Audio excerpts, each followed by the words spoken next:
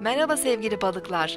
Bugün yakın çevrenizden bir kişinin, bir arkadaşınızın önemli bir sorunu ve maddi problemiyle ilgilenmeniz gerekebilir. Yardımseverliğiniz ve yaratıcılığınızla uygun çözüm yolları bulabilirsiniz.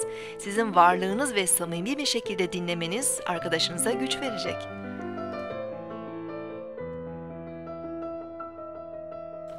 Bugün 24 Mart 2014 Pazartesi. Ay günündeyiz. Oğlak burcunda ilerleyen ay güne kararlı, ciddi ve çalışkan enerjiler veriyor. Hafta sonu etkili olan rahat ve iyimser enerjiler bugün etkisini kaybedecek. Gün boyu iş ve sorumluluklarımız önceliğimiz olabilir. Ay Oğlak burcundayken kendimizi biraz karamsar ve yorgun hissedebiliriz. Aile büyükleri ve otorite kavramları ile ilgili konular biraz daha bizi meşgul edebilir.